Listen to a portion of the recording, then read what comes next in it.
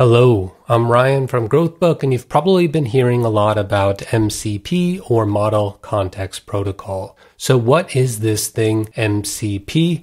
It is a way, a standard to bring your favorite tools like Cursor, Claude, VS Code, and connect them to services, databases, APIs, anything that you can connect to programmatically.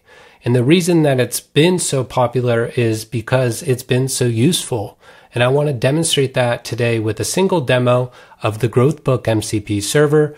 So I'm going to switch over here to uh, Cursor. I have it open and I am in a React project and I have a, just a simple component here. It's a hero. It has this headline with some subtext. And what I want to do is add the feature flag to this component. So I'm going to select this text here, bring it into my uh, chat window and say, create a feature flag with a force rule that says if the user is a beta tester, use the value, hello, my beta tester, welcome. All right, so I'm going to hit enter and let the AI do its thing. So you can see that the first thing that happens is it calls the MCP tool create feature flag. And then after that, it calls the tool to create a force rule. And already it's now updated the component with the new code. So it's bringing in our use feature value hook from the React SDK, the GrowthBook React SDK. It's using that value and then it's changed out the H1 to use the new value. And now let's see what it says here in the response. It tells us that our feature flag hero title beta message is ready and the force rule is set if the user has the attribute beta tester true. They'll see this weird message I came up with. Hello, my beta tester, welcome.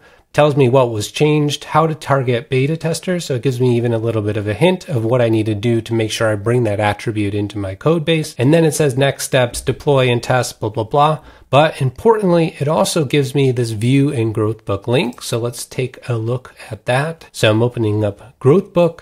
So it has hero title beta message. This is the new flag that's been created for me.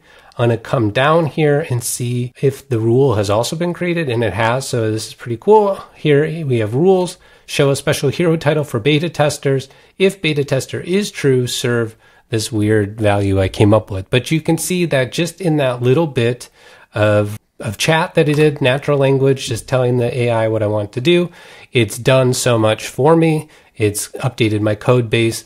It's given me the feature flag in GrowthBook with a link, and then even given me some hints as to how I also need to update the rest of my code base. Check out our docs for more on how to use the GrowthBook MCP server